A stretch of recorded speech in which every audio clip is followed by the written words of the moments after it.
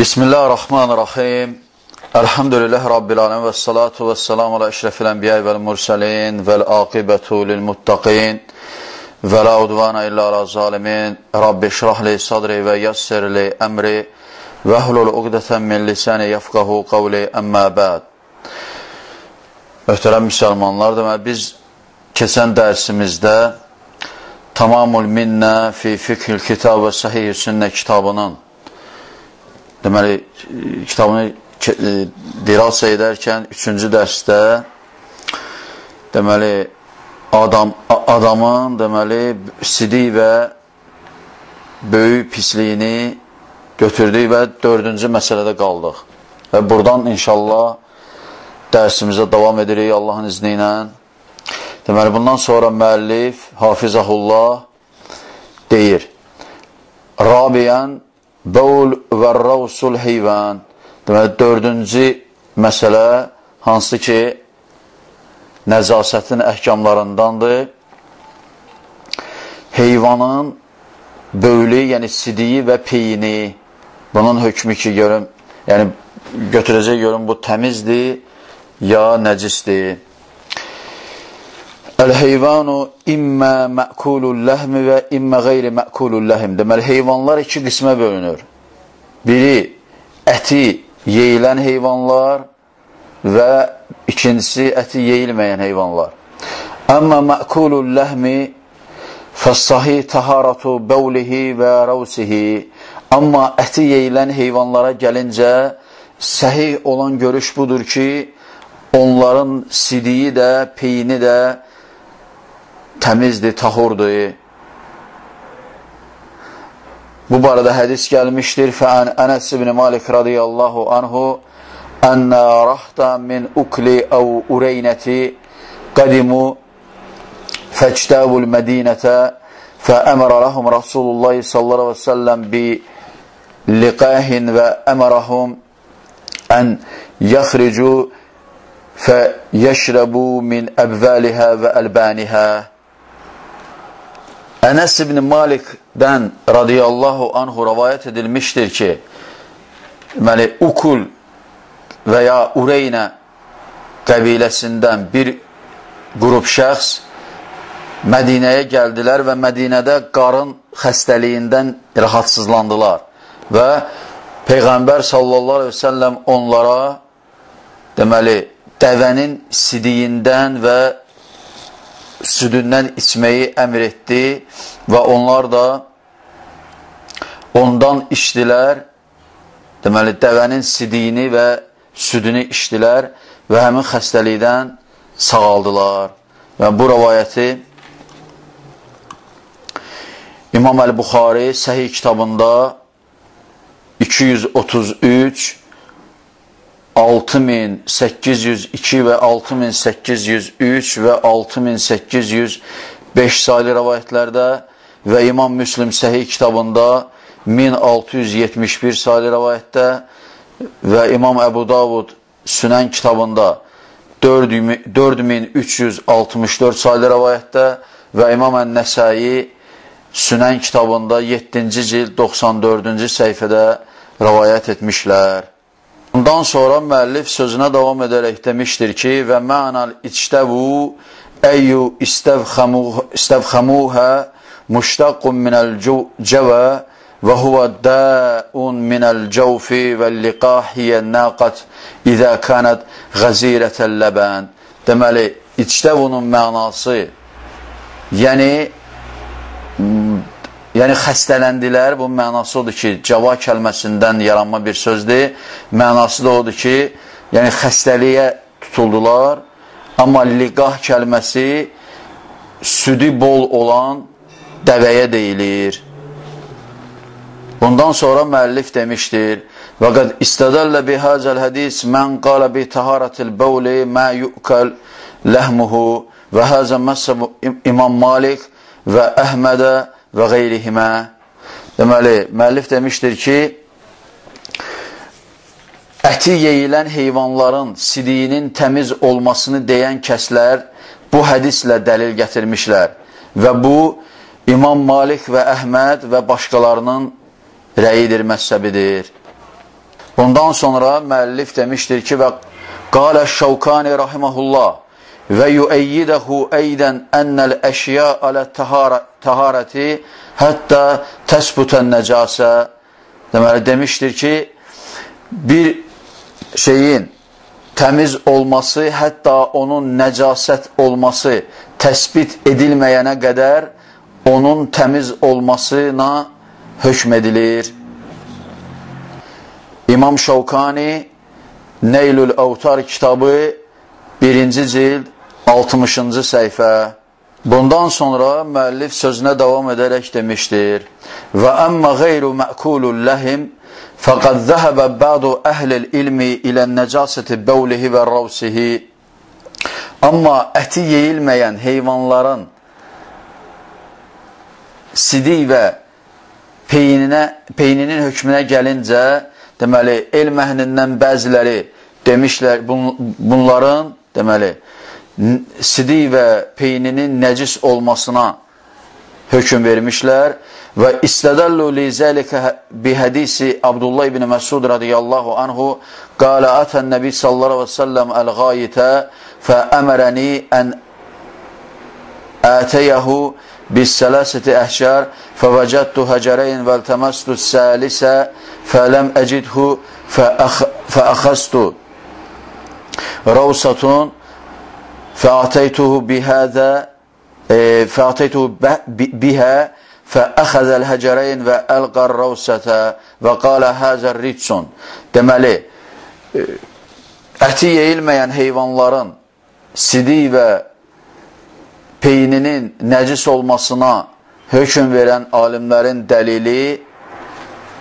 Abdullah ibn Məsud radiyallahu anhudan rəvayət edilmiş hədisdir ki, demişdir ki, Peyğəmbər sallallahu səlləm ayaq yoluna getdi və mənə üç dənə daş gətirməyi əmr etdi və mən iki daş tapdım və üçüncüsünü tapmadım, nə qədər axtardım, tapa bilmədim və mən peyin götürdüm və gətirdim, onları verdim ona. Peyğəmbər sallallahu səlləm iki dənə daşı götürdü və peyini atdı və dedi ki, bu nəcisdir. Bu hədisi Əl-Buxari, İmam Əl-Buxari səhih kitabında 156 sayılı rəvayətdə və İmam Nəsai Sünən kitabında 1-ci cild 39-40-cı səhifələrdə Ət-Tirmizi Sünən kitabında 17 sayılı rəvayət və İbn-i Məcə Sünən kitabında 314 sayılı rəvayət və İbn-i Xuzeymə Səhih kitabında 70 sayılı rəvayətdə rəvayət etmişlər. Bundan sonra müəllif demişdir, Rəvahul Buxari və zadə fi rivayəti ində İbn-i Xuzeymə fəvəcəddu ləhu həcəreyn və rəvsətə himər. Deməli, bu hədisi Buxari və başqaları rəvayət etmişdir. Lakin İbn Xuzeymənin nəzdində olan rəvayətdə hədisdə ziyadə vardır. Orada deyir ki, deyilir ki, iki dənə daş tapdım və bir də uzun qulağın eşəyin peynini tapdım. Və yəni xüsusiləşdirilmiş olaraq uzun qulağın peyni qeyd edilmişdir. Bundan sonra müəllif demişdir ki, Və zəhəbə axaruna ilə qavli bi taharətil bəvli və ravsi qeyri məkulül ləhm əddə ravsil himər fəqat lihəzəl hədis. Lakin başqa alimlər deməli, bu hədisə görə, bu hədisə görə əti yeyilməyən heyvanların sidi və peyninin yalnız uzunqulaq eşəkdən başqasının sidi və peyninin təmiz olmasına hökum vermişlər. Bu hədisə görə o dəlilləri bu hədisdir ki, çünki bu hədisdə uzun qulağın peynindən söhbət gedir və bunu başqa heyvan, əti yeyilməyən heyvanlara şamil etməmişlər bu rəyi deyən alimlər. Bundan sonra müəllif sözünə davam edərək demişdir. Qalə Siddiq Həsən xan rəhiməhullah Fəlhaqqul həqiq Bilqavlil hukmu bin nəcasəti mə sabətə nəcasətu biddarurəti diniyyə və huvə bəvlul ədəmi və qayituhu Deməli, Siddiq Həsən xan demişdir ki, deməli, həqiqi olan haqq bundan ibarətdir ki, dinin, deməli, nəcasət hökmü dinin zərurətlərindən e, nəcis olması sabit olan, dinin zərurətlərdən olan, deməli, e, nəcis olması hökmünü qəbul etməkdir və bu, Adəm evladının sidiyi və böyük, böyük bayra gedən pisliyidir. Əmmə mə əddəhə fə in vərədə fihi mə yədullu على نجاسته كروسة يعني روسة الهمار كما في حديث ابن Məsud vəcəb əl-hukmu bizəlik amma bundan başqalarına gəlincə hansıları barədə ki onların nəcis olması barədə yəni peyninin nəcis olması peyin kimi nəcis olması barədə dəlil varid olmuşdur onlar nəcisdir necə ki məsələn Abdullah ibn Məsuddan rəvayət olunan uzun qulağın peyni nə gəlincə, necə kimi bunların yəni nəcis olmasına hökm vermək vacibdir. Və inləm yurad fəl-bəra'atu əsliyyə kəfiyyətun fi nəfyi təabbud bi kavni şeyin nəcsən min dunə, min dunə dəlil. Amma başqalarına gəlincə, deməli, əsl olan bundan ibarətdir ki, bir şeyin nəcis olmasına ispat edən bir dəlil yoxdursa, onda onun əslinin bəri olmasına dəlalət edir. Fə innəl əslə fi cəmiyyil əşya taharatu və deyir ki, müəllif, deməli, Siddiq Həsən xandan iqtibas gətirərək və əsl olan hər şeyin əslinin təmiz olmasıdır. Vəl hukmu bin nəcasətihə hukmu təklifi taummu bihi bəlvə və la yəhillu illə bə'də qiyaməl hüccə və onun nəcis olmasına hökm vermək şəri hökmdir və ümumidir hökmü və onu deməli deməli qiyam, e, e, hüccət qiyamı qalxmadıqca qalxdıq, qalxmayana qədər onun deməli e, təmiz olmasına, hökm halal olmasına hökm vermək olmaz. Və Siddiq Həsən xan bunu Ər-Ravdatun Nədiyyə kitabında qeyd etmişdir. Birinci cild 14-cü səhifə. Həmçinin bax, İmam Şavkaninin Neylül Avtar kitabı birinci cild 59 62-ci səhifələr. Bundan sonra müəllif demişdir, xəmisən luabil kəlbi, deməli, beşinci məsələ nəcasətin əhkamlarından itin ağzının suyu, luabul kəlbi necisun, deməli, itin ağzının suyu nəcisdir, li qavli sallallahu aleyhi və səlləm tuhuru inəyi əhədikum İzə vələğə fihi kəlbu fihil kəlbu ən yəxsiləhu səbə mərratin ihdəhunnə bitturəb deməli, sizdən birinizin demək, Peyğəmbər sallallahu səlləmdən rəvayət edilmişdir ki, sizdən birinizin təmiz qabına əgər it ağzını salarsa və oradan bir şeylər yiyərsə və ya içərsə, onu 7 dəfə yuyun və birincisini torpaq ilə. Bu hədisi İmam Müslim səhihində 279 sayılı rəvayət Əbu Davud, İmam Əbu Davud Sünən kitabında 71 sayılı rəvayət İmam Tirmizi Sünən kitabında 91 sayılı rəvayət Ən-Nəsəyi Sünən kitabında 1-ci cild 177 sayılı səhifə 177-ci səhifədə və həmsini və rəvahu nəhvahu Buxari, həmsinin bunun bənzərini İmam Əl-Buxari səhih kitabında rəvayət etmişdir. 172 sayılı rəvayət və İbn-i Macə Sünən kitabında 364 sayılı rəvayət və İmam Nəsəyi Sünən kitabında 1-ci cild 52-ci səhifədə rəvayət etmişlər. Bundan sonra müəllif sözünə davam edərək demişdir. Fəqavluhu tuhuru dəlilun alə ənəhu tənəccüsü bi vuluğul kəlbi deməli, tuhur kəlməsinin kəlməsinə görə, hədistə keçən tuhur kəlməsinə görə e, dəlildir ki, deməli, itin həmin qaba ağzını salması nəticəsində həmin qab artıq nəcis olmuş olur. Və kəzəlikə əmruhu bi qasli inəyi və həmçinin o qabı yumağı əmr etmişdir.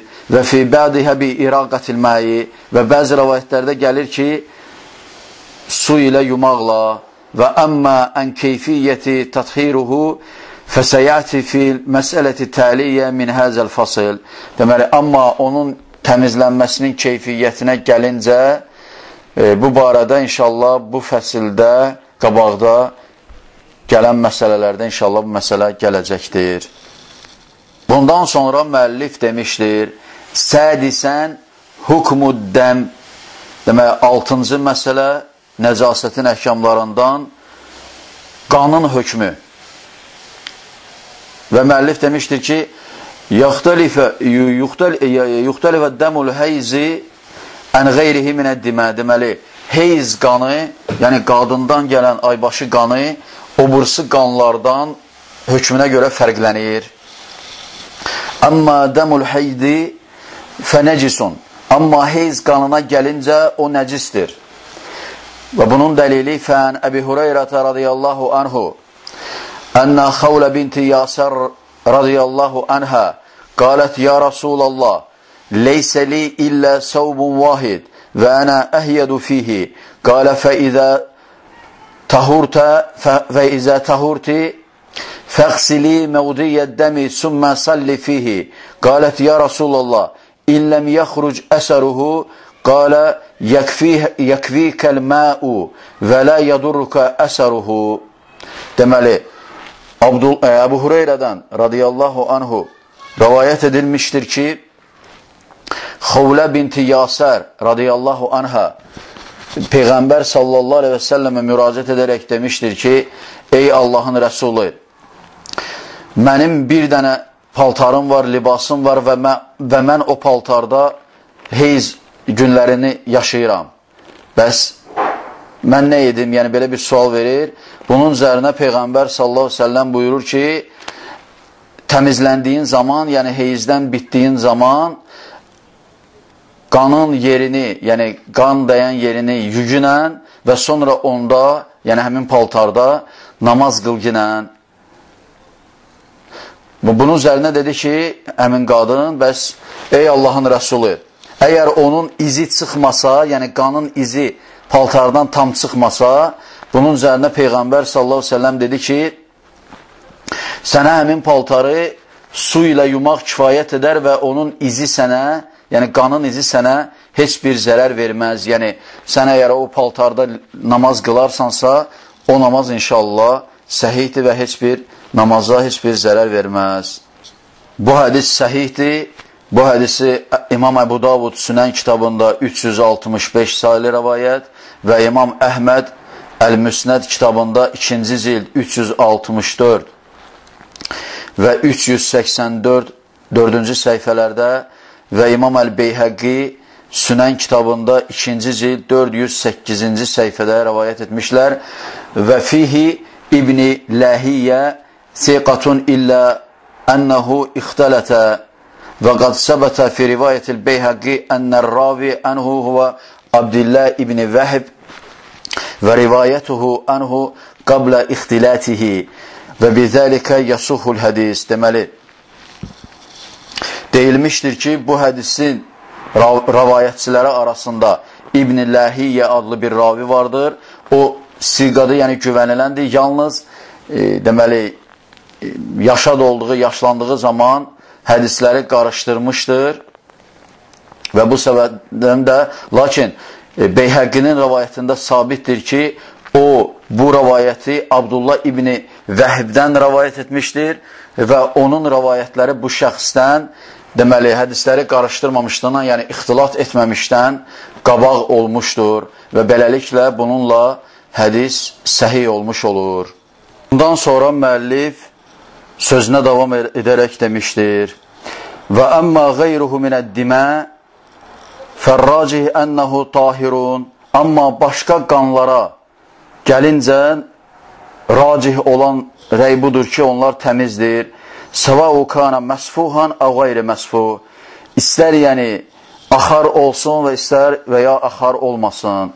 Limə ravahu Əbu Davud və İbn Xuzeymə ən Cabir İbn Abdillah radiyallahu anhuma və fihi ənə rəculən minəl muslimin qama yusalli yəkləvun nəbi sallallahu aleyhi ve sellem və əshabuhu fəcəə rəculun minəl müşrikin fəramahu bi səhmin fəvədəəhu fihi fənəzəəhu yəfəlu zəlikə sələsə mərrat əl-hədis deməli bu hədisin dəlili Əbu Davud və İbn Xuzeymənin Cabir İbn Abdullah radiyallahu anhumadan rəvayət etdiyi hədisdir ki, orada deyilir ki, deməli, müsəlmanlardan bir nəfər namaz qılmağa durdu və Peyğəmbər sallallahu sələm və onun sah əshabı, sahabələri onu qorumağa başladılar və müşriklərdən bir nəfər gəldi və oxla onu vurdu və o da yerə düşdü və sonra o bunu üç dəfə etdi.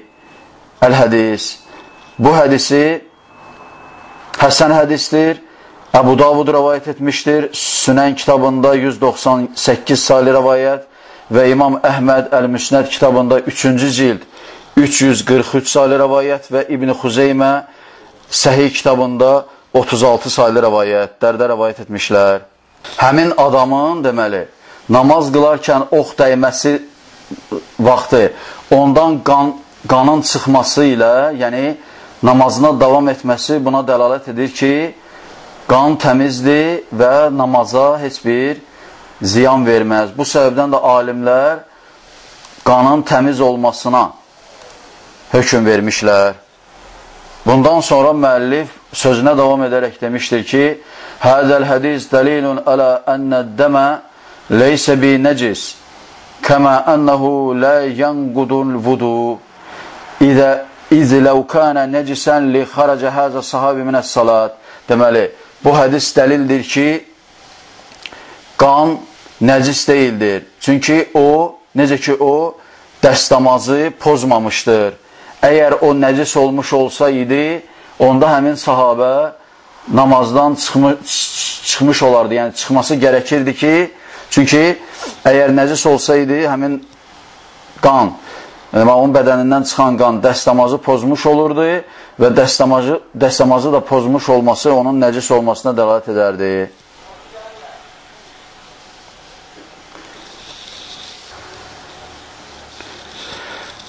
Bundan sonra müəllif deyir ki, və yəbudan yakunun nəbi sallallahu aleyhi ve səlləm ləm yələm ləm yələm بهذه الحادثة لتوفر dəvaihim alə suali ən misli zəlik və deyir Peyğəmbər sallallahu səlləmin deməli bundan və bu, yəni o adama təzdən məsələn namazı iadə etməsini əmr etməməsi e, buna dəlalət edir ki, deməli qan təmizdir və dəstəmazı pozmur müəllif deyir ki, bəziləri bu məsələ barədə sual verərək iddia etməkdə, çoxlu iddialar etməkdə davam edərlər. Bundan sonra müəllif deyir ki, və anil Hasan el-Basri rahiməhullah qalə mə zələl muslimun yusalluna fi cərahatihim. Deməli, Həsanul Basri rahiməhullah demişdir ki, müsəlmanlar yaralı olduqları halda namazlarına davam et, e, namazlarına qılmağa davam edərdilər. Bu rəvayət səhihdir və bu hədisi İmam Əl-Buxari səhih kitabında mualləq sənədlə, yəni qısaldılmış sənədlə rəvayət etmişdir. Birinci cild 346-cı səhifədə və həmçinin İbn Əbu Şeybə Əl-Musənnəf kitabında rəvayət etmişdir. Bunun bənzərini 1-ci cil 47-ci səhifədə. Məsələyə həmçinin müəllif aşağıdakı dəlilləri gətirir. Və asara İbn Ömər radiyallahu anhu bi thurratin əyyü xuracən, xurracən fəxaraca minhə dəmu və ləm yətəvəddə. Müəllif demişdir ki, Abdullah ibn Ömər radiyallahu anhuya dərisində irinli xəstəlik, yəni meydana gəldi ki, oradan həmçinin onun yerindən də, qan çıxırdı və o dəstəmaz almazdı. Bu rəvayət səhihdir. İmam Əl-Buxari rəvayət etmişdir müalləq olaraq. Hədis rəvayəti qıssaltmış olaraq sənədini e, rəvayət etmişdir. Birinci cild 346-cı səhifə və həmçinin Beyhəqi Sünənül Kubra kitabında mövsul olaraq rəvayət etmişdir. Yəni sahabədən rəvayət etmişdir. Birinci cild 141-ci səhifə və həmçinin İbn, Əbi, İbn Əbu Şeybə Əl-Müsənnəf kitabında birinci cild 128-ci səhifə və İmam Əbdurrazzaq Əl-Müsənnəf kitabında birinci cild 145-ci səhifədə rəvayət etmişlər. Hafiz İbn Həcər Əl-Əsqalani Fəthül Baridə bu rəvayəti səhiləmişdir. Birinci cild 300 82-ci səhifədə bundan sonra müəllif sözünə davam edərək deyir ki, və nəzəfə İbn Əbi Əvfə dəmən fəmədə fi salatihi deməli, İbn Əbu Əvfədən qan axmağa başlayır və o namazına davam edir və o namazdan çıxmır və bu da dəlat edir ki, deməli, qan dəstəmazı və namazı pozmur. Bu rəvayət səhihdir Onu e, İbn Əbi Şeybə Əl-Müsənnəf kitabında 1-ci cild 124-cü səhifədə və İmam Əbdurrazzaq Əl-Müsənnəf kitabında 1-ci cild 148-ci səhifədə rəvayət etmişlər. Bundan sonra müəllif sözünə davam edərək demişdir ki, vəl əslu fil əşya taharatu deməli, hər şeyin əsli təmizdir, pak olmasıdır. Və ləm yədullu dəlil sarih alə nəcasəti dəm deməli, qanın nəcis olmasına açıq aydın bir dəlil, hər hansı bir dəlil yoxdur. Bu səbəbdən də qan təmizdir. Və əmmə qavluhu təalə Qul la əcidu fīmə uhiyə iləyyə muharraman alə ta'amin yətəmuhu illə ən yəkuna meytətən əv dəmən məsfuhən əv ləhmə xinzirin fə innəhu ritsun. Əl-Ən'am 45 və 100 deməli. Amma uca Allahın Əl-Ən'am surəsi 145-ci ayədə dediyi De ki, mənə gələn vəhilər içərisində ölü heyvan, axar qan, murdar sayılan donuz əti və Allahdan başqasının adı ilə kəsilmiş murdar heyvanlardan başqa hər hansı bir şey şəxsin yediyi yeməklər içərisində haram buyurulan bir şey görmürəm ayəsinə gəlincə müəllif demişdir ki, fəddamiru fi qavlihi fə innəhu ritsun. Deməli, e, ayədəki o nəcisdir, mundardır, murdardır kəlməsindəki zamir yaxın olana qayıdır. Yaudu ilə əqrəbi məskur, deməli zikr edilmiş yaxın olana qayıdır və bu da e, donuzun ətidir. Fərridsu əl-məqsud fil ayə yaudu ilə ləxməl xınzir və burada nəcis olan ayədəki yəni qeyd edilən ondan məqsəd deməli donuzun ətidir.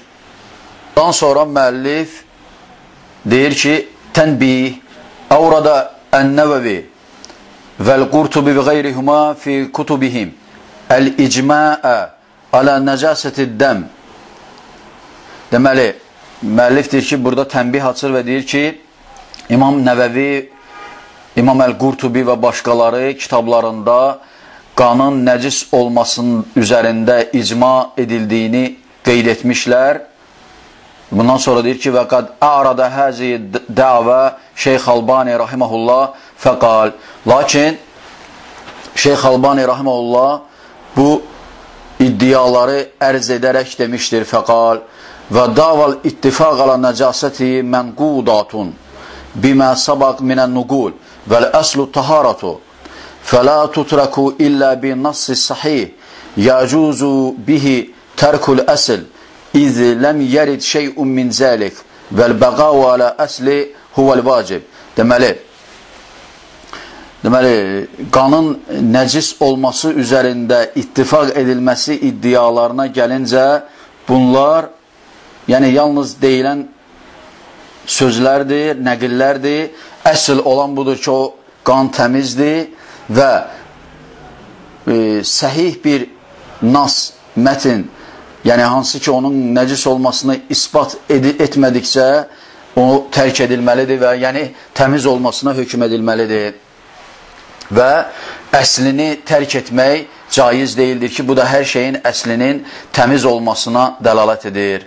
Və heç bir şey bununla rədd edilməz və hər bir şeyin əslinin üzərində qalmasının vacib olmasıdır ki, Şeyx Albani bunu qeyd edir. Silsilətül Əhadisi Sahihə kitabında deməli 301 sayılı hədisi şərh edərkən bundan sonra müəllif demişdir ki və min və mimmən raccaha taharata dəmi Əş-Şeyx İbn Useymin və Siddiq Həsən xan və Şəvkani rahiməhumullah. Deməli, qanın təmiz olmasını tərcih edən alimlər arasında həmçinin Şeyx İbn Useymin, Siddiq Həsən xan və İmam Şəvkani rahiməhumullah vardır. Necə ki, bu İbn Useyminin Şərhül Mumti Alazadıl Mustaqnə kitabında 1-ci cil 375-ci səhifədə və Siddiq Həsən xanın Ər-Ravdatun Nədiyyə kitabında 1-ci cild 39-cu səhifədə qeyd edilmişdir.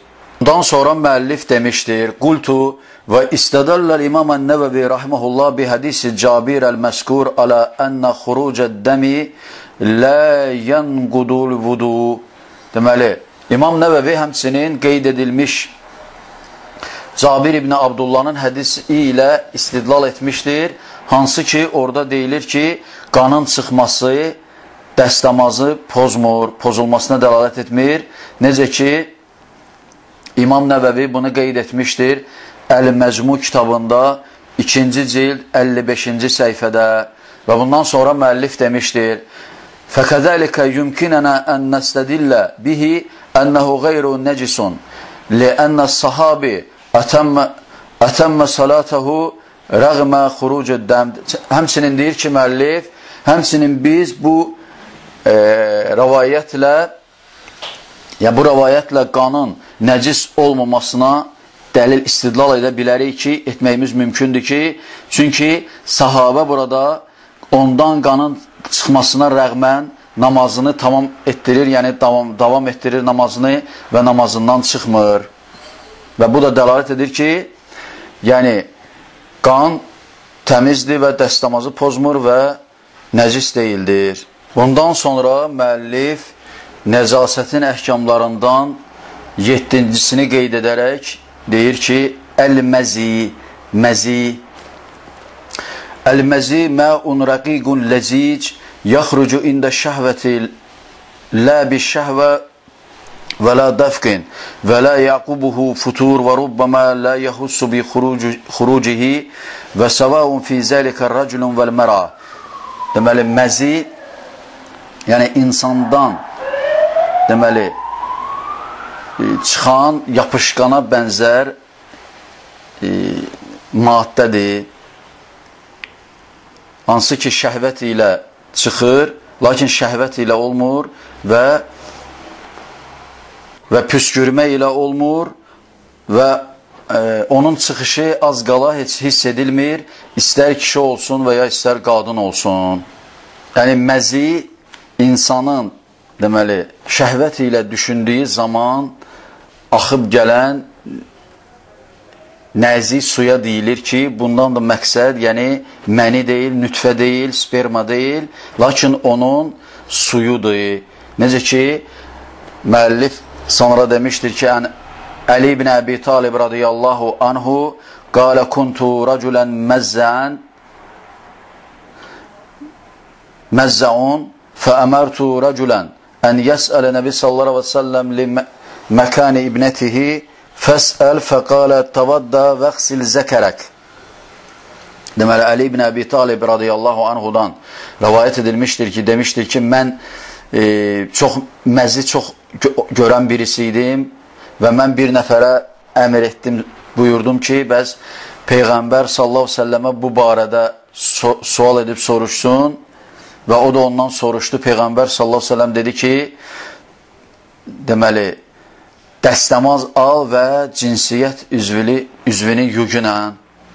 Bu hədisi İmam Əl-Buxari Səhih kitabında 269 saylı rəvayət, İmam Müslim Səhih kitabında 303 saylı rəvayət, İmam Əbu Davud Sünən kitabında 206 və 208 saylı rəvayət, İmam Ət-Tirmizi Sünən kitabında 114 saylı rəvayət və İmam Ən-Nəsəyi Sünən kitabında 1-ci zild 96-cı səhifə və İbn Məcə Sünən kitabında 504-cü səhifədə rəvayət etmişlər. Müəllif demişdir ki, bi əlfəzin muxtəlifə nəhvəhu, yəni müxtəlif çeşidli ləfslərdə bu qeyd edilən ləfsə bənzər ləfslərdə rəvayət edilmişdir. Bundan sonra müəllif demişdir ki, və fir rivayəti li yaxsil zəkərəhu və unfəyeyhi başqa bir rəvayətdə deyilir ki, zəkərini və iki xayasını yusun. Rəvayət səhihdir. İmam Əbu Davud Sünən kitabında rəvayət etmişdir. 208 saylı rəvayət. İmam Əhməd Əl-Müsnəd kitabında 1-ci cild 124-cü səhifə və İbn Hibban Səhih kitabında 1170 saylı rəvayətdə rəvayət etmişlər. Ondan sonra müəllif demişdir ki, vəl məqsud bil unsəyeyn əl-xusiyyəteyn, yəni unsəyeyn kəlməsindən məqsəd xayalardır, iki xayadır. Bundan da murad, yəni həm yəni bundan da məqsəd ondan ibarətdir ki, yəni ola bilsin ki, zəkər ilə, yəni cinsiyyət üzvü ilə bərabər həmçinin onlar da bu axıntıdan batmış olar, isabət etmiş olar və onların da yuyulması, təmizlənməsi lazımdır.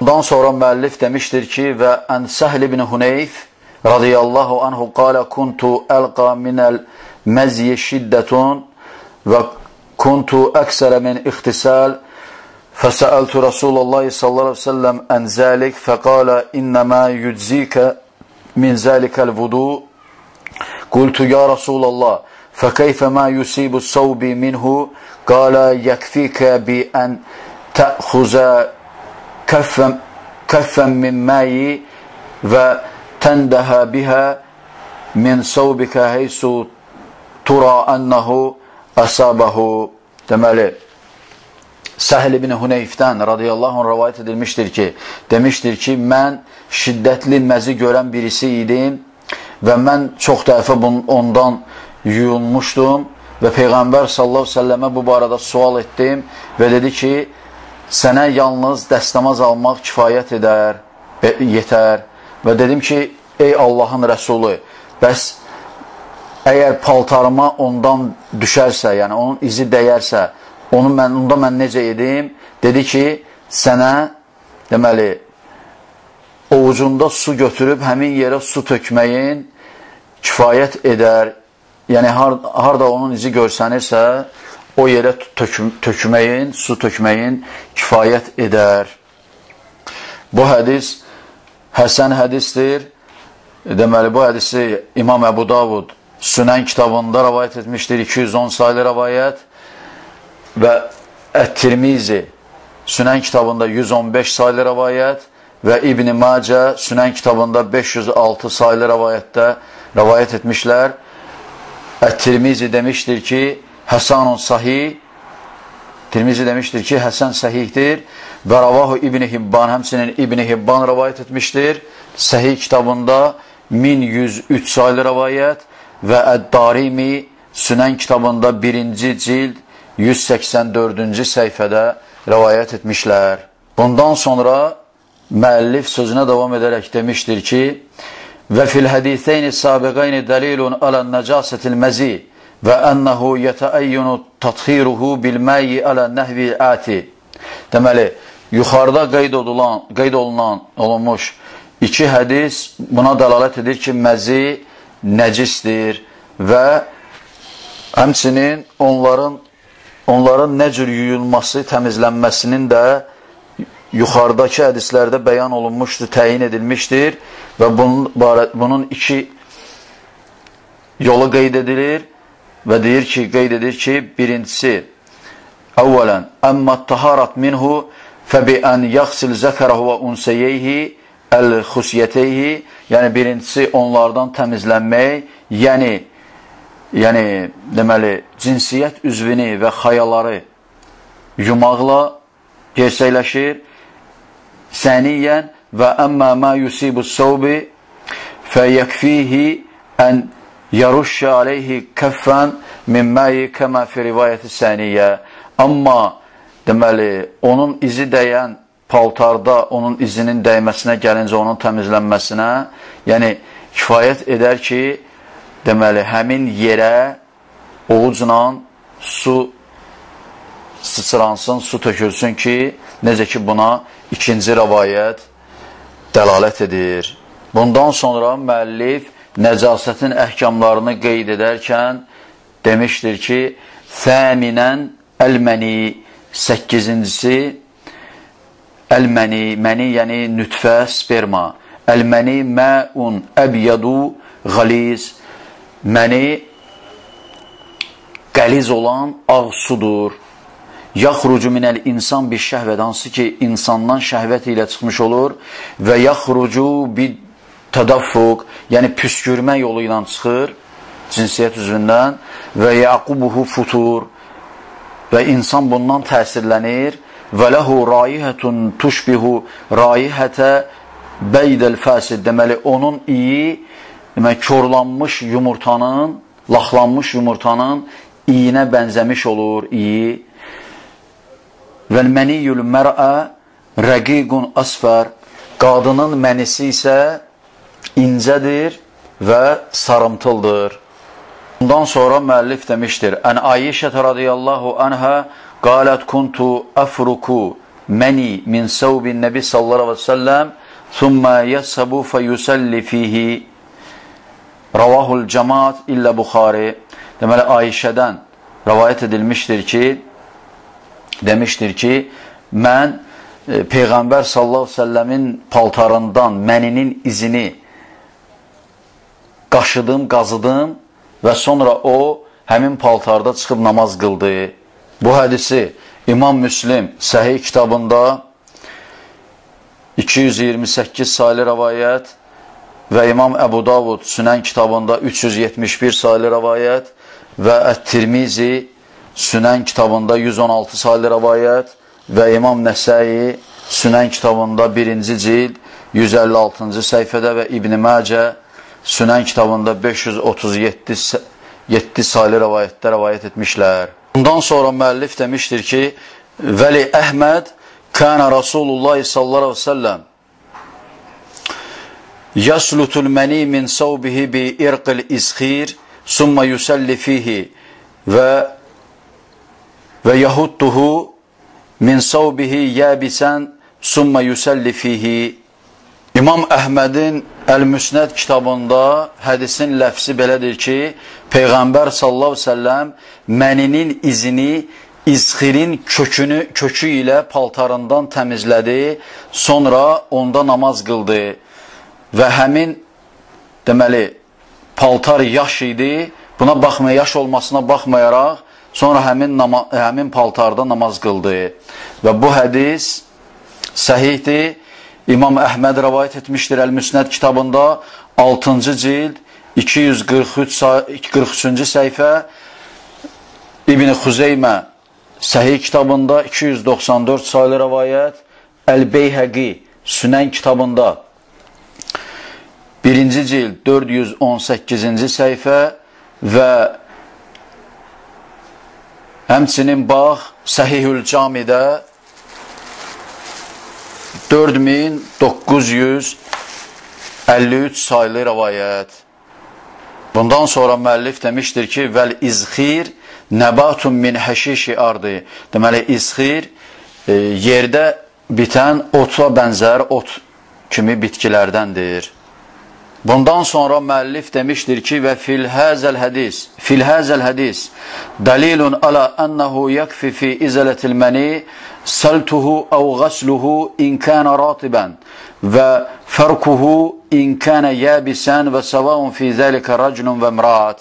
Müəllif demişdir ki, bu hədis ona dəlalət edir ki, məninin izinin e, təmizləmək üçün e, deməli, o, əgər yaş olarsa, onu su çiləmək və ya yumaq ilə kifayətlənilir.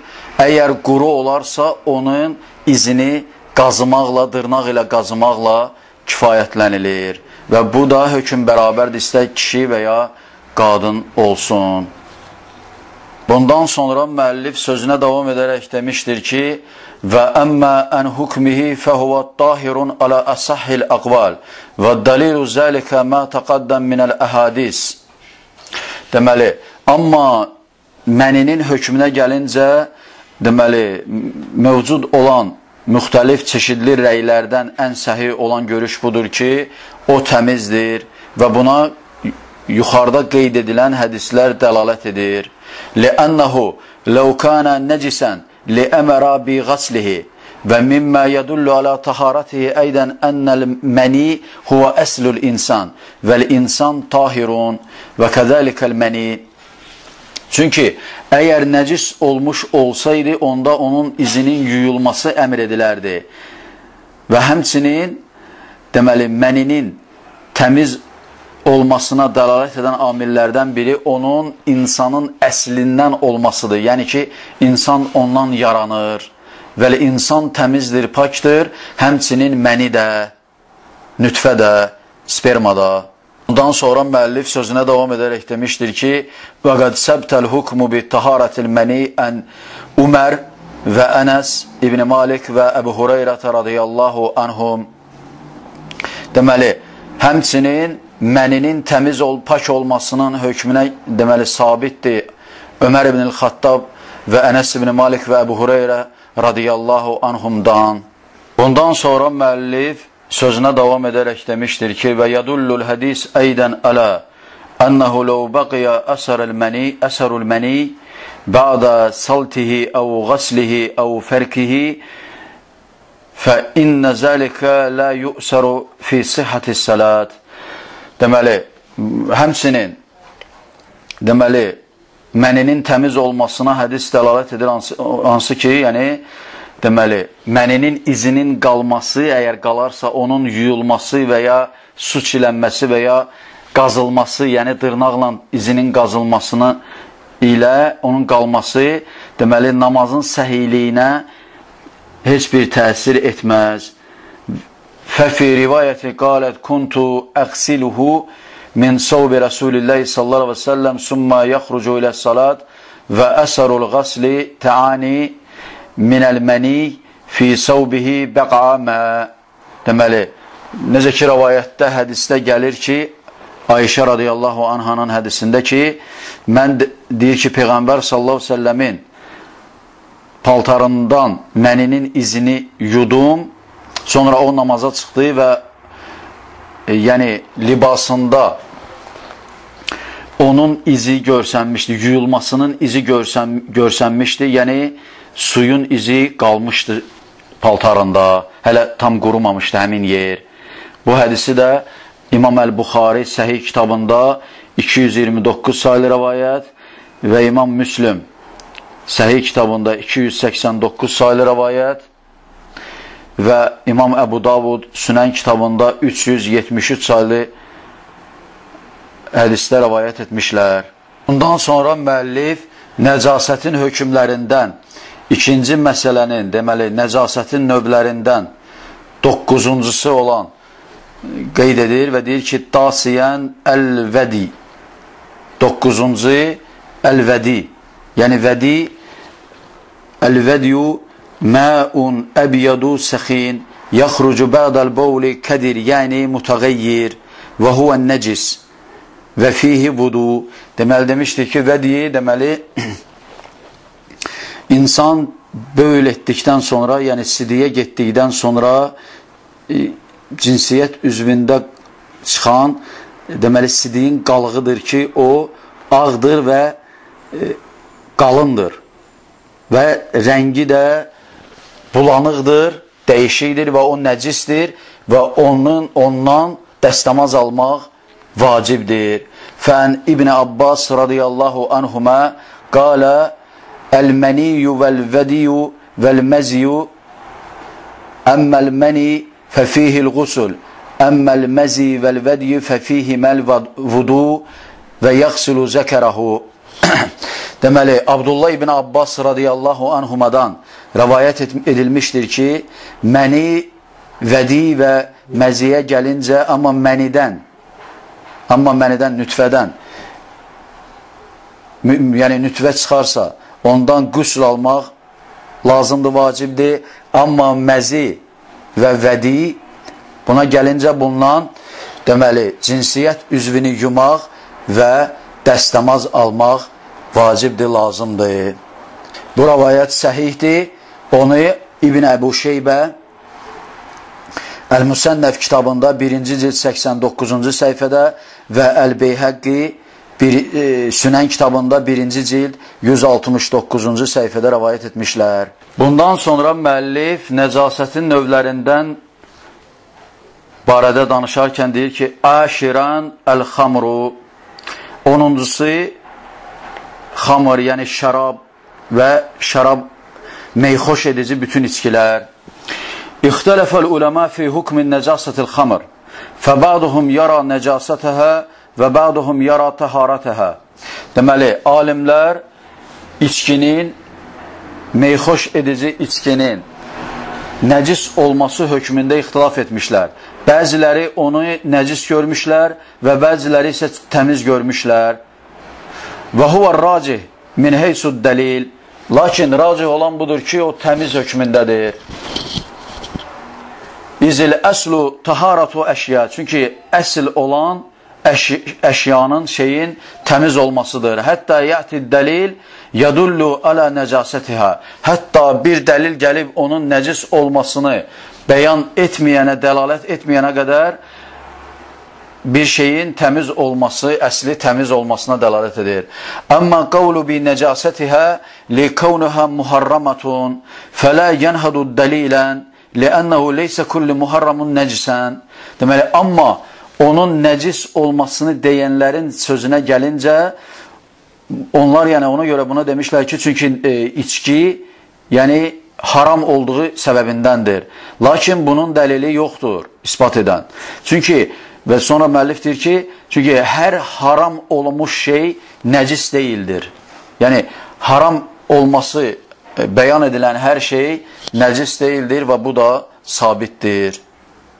Bundan sonra müəllif demişdir, və əmmə ma istədəllə bihil qailun bin nəcasəti min qavli teala innəməl xamru vəl meysiru vəl ənsabu vəl əzləmu ridsun min əməli şeytan Əl-Məidə tis'un e, Amma deməli e, içkinin, şərabın və ona bənzər olanların nəcis olmasını deyənlərin dəlillərinə gəlincə onların dəlili Məidə surəsinin 90-cı ayəsidir ki, deməli, uca Allah demişdir ki, ey iman gətirənlər, ey iman edənlər, şübhəsiz ki, sərxoş edici içkidə, qumar da, tapınmaq məqsədi ilə dik qoyulmuş daşlar da, fal oxları da şeytan əməlindən olan murdar şeylərdir. Məydə surəsi 90-cı ayə. Bundan sonra müəllif demişdir. Fəleysə fihi dəlilun alən nəcasəti لأن المقصود بقوله تعالى ritsun huna huwa ritsun mənavi və leysəl hissi Və burada bu ayədə deməli içkinin nəcis olmasına dəlalət edən heç bir şey yoxdur. Çünki bu ayədə keçən ric kəlməsi, nəcis kəlməsi onların mənəvi cəhətdən nəcis olmasıdır. Hissi cəhətdən deyil. Bundan sonra müəllif demişdir və mimmə yadullə alə zəlikə ennəl ənsabə vəl meysirə vəl أزلام المذكور المذكورة في الآية لا تفسف بالرجس هسي وحيث إن الخمر قد أطفت عليها في الحكم فإنها تأخذ نفس الحكم بأن نجاسة معنوية وليست هسية Ona dəlalət edən amillərdən biri də həmsinin ayədə keçən. Deməli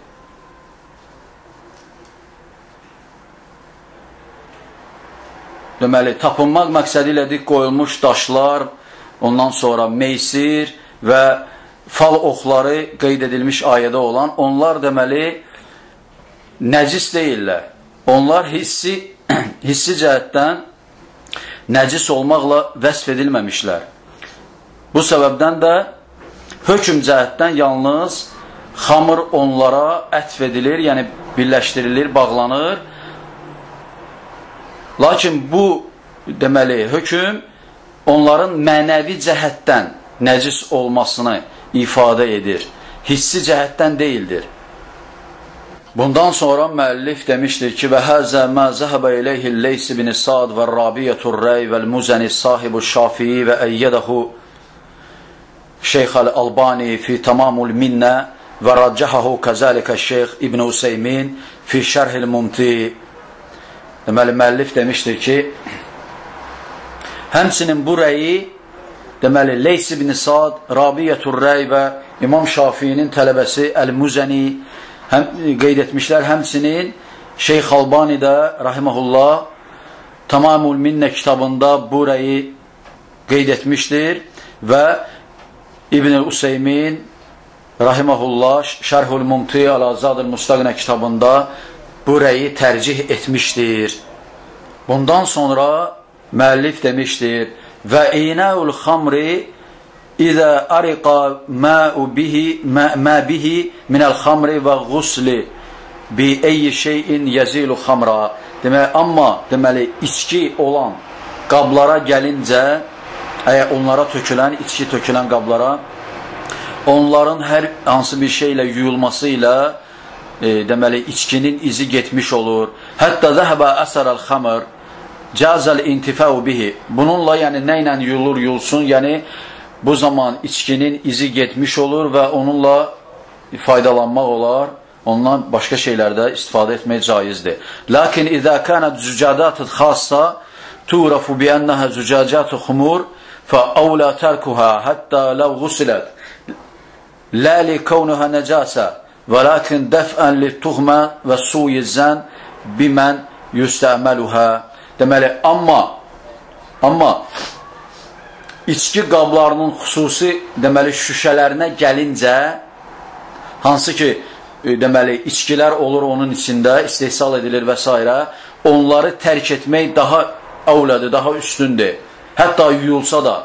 Çünki düzdür onlar nəcis, bu halda nəcis olmurlar, lakin onları töhmət və pis zəndə onları istifadə edən şəxs barədə pis zəndə olmaq e, səbəbindən yəni onları tərk etmək daha ölədir, daha üstündür. Bu səbəbdən də içki istehsal edilən, buraxılan, yəni şüşə qablar ki var ki, onlardan istifadə etmək caiz deyildir, tərk edilməsi gərəkir.